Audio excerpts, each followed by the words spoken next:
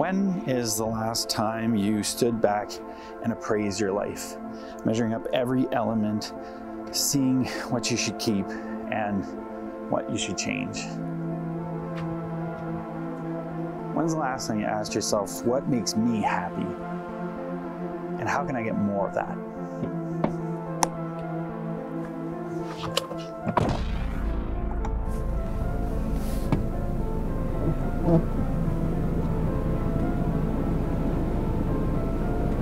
We recently rewatched Under the Tuscan Sun, a movie from 2003. In this movie, Frances Mayes discovers that her husband is leaving her for another woman and is kicking her out of the house. In an effort to console her, her friends give her a trip to Italy. And while she's in Italy, on a whim, she decides to buy a run-down villa. And that's how the story begins. This premise is incredibly common in movies and stories in general. An unhappy person decides to completely overhaul their lives in the hopes of something better or at least something new. Because anything must be better than their current situation. Now, if it's a tragedy, they will lose, or they'll die, or they'll end in misery, punished for their naivety. If it's a comedy, they win.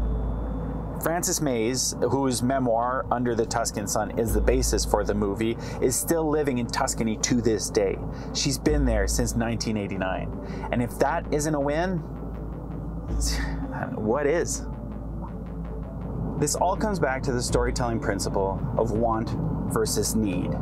The main character wants something, and what they want is what's going to drive them through the story. They want to be famous, or they want money, or they want to find love. But what they need is what they'll learn in their pursuit of their goal, of their want. And that usually is different.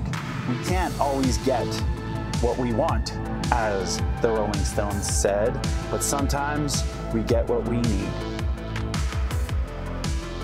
In Under the Tuscan Sun, Frances clearly states her wish. She wants a wedding on her property and she wants a family. That is what she wants, and that is what she pursues in the movie. Eventually, at the end of the movie, she kind of gets what she wants, but it doesn't look like what she thought it would look she finds out that the love and happiness that she was looking for has taken other forms. The wedding she wanted on her property happened, but it was between a young couple that she'd started to befriend. And the family that she wanted was there, but it was her friend and the new baby, and that, that was the family. So Frances's want and need ended up being not what was expected. It didn't come from her own romantic interests. Although the movie does end with the introduction of the man who would become her husband in real life, because, I mean, this is a rom com, so. So, what does this have to do with anything? Why am I going on about an okay rom com from the early 2000s? Well, if this is the first time uh, you've seen any of my videos, I'm a Canadian filmmaker moving to Vietnam with my family where I'll be teaching in an international school. Now, yes, I am also uprooting my life and moving to a foreign country, but my move is much more calculated and it isn't meant to be permanent. I'm not buying property in a foreign country yet. But just like the character in Under the Tuscan Sun and in any story, my move, this move, this going to another country, this uprooting of everything I know except for the three other members of my immediate family, you know, it was sparked by a want. I am a millennial. I will be 40 in a few months. And I've never stopped appraising my life, measuring everything up, asking what should I keep, what should I change, what's the cost of, of just maintaining the status quo, of keeping on this track. And isn't there a way that we could have something better? Or at least something different? So let me clearly state my want, as if this were my wish scene and I was putting it all on the line. Let's call this movie Under the Southeast Asian Sun. Because, like, under the Tuscan sun, but but I'm not going to Tuscany. I'm going to Vietnam, which is was Southeast Asia. You get it. Okay. Stated wishes. I want to work to live, not live to work. That means less stress, less reliance on bringing tons and tons of money in order just to make ends meet. That means less commuting or no commuting, ideally. That means not having to go through the gloom of winter, at least for a little bit. For me, a creative type, if ever there was one, I need to put myself in a situation where I can do the things I enjoy doing. For me, that's making videos and short films. You're going to be hearing me talk about this book a lot, and yes, there is a link in the description. But The Geography of Bliss by Eric Weiner is fantastic. He goes around the world looking at what makes people happy. And in Iceland, creativity, man. Creativity and an openness to creativity and encouraging creativity. That's that's why people so far up in the north are happy because the place is called Iceland. And people in Iceland are still happy.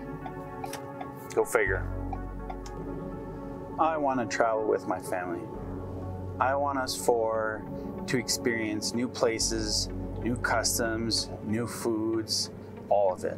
I want us to live the highs and the lows of traveling together and make lasting memories. Traveling here in Canada it's expensive.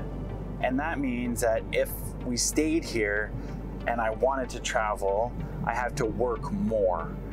And more work means less time to do other things that we enjoy. So I'm sacrificing time in one place in order to gain it somewhere in the near distant future in Vietnam, with the cost of living so much lower and the cost of traveling so much lower, we will have the opportunity to travel all over Southeast Asia at least, and we'll see things, and we won't have to work 80 hours a week. And the third thing, I want my children to learn and see that you don't have to live the exact same life your parents lived you can make your own decisions. You don't have to twist yourself into a shape that is deemed acceptable to those around you. Your life is yours to do what you want with it, and, and that can come in many, many shapes. The only thing you have to do is be active in the pursuit of what you want. If you've ever overhauled your life, if you've ever made big changes in order to pursue what you want, I'd love to hear from you in the comments. Did everything go according to plan? Did your wants line up with your needs? Or was it just like a super, super bumpy road and you regretted every minute of it? If you've always dreamed about doing something different with your life, of, of changing things, What's holding you back? Why haven't you done it yet? Why aren't you going for what you want? For my part and my current plan, I know that all the international school teachers I've talked to so far have zero regrets about going to teach abroad. But that doesn't mean that I'm expecting a completely smooth ride. I know that there will be things that will happen that are unexpected and that are not fun. I expect that. So, what is it that I need? How are my wants and needs going to line up. My life of comedy, is it all gonna go super smooth and we're gonna have bundles of laughs and it won't end in misery? Or is is it all gonna end terribly? And I'm gonna regret it.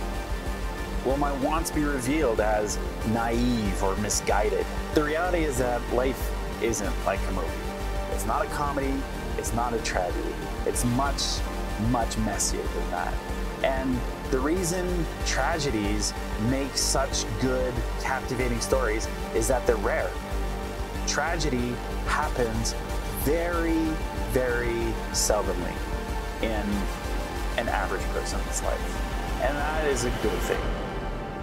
As for the adventure I'm about to embark on, only time will tell. All I can do is go for what I want, pursue it. We are all the heroes and the writers of our own lives.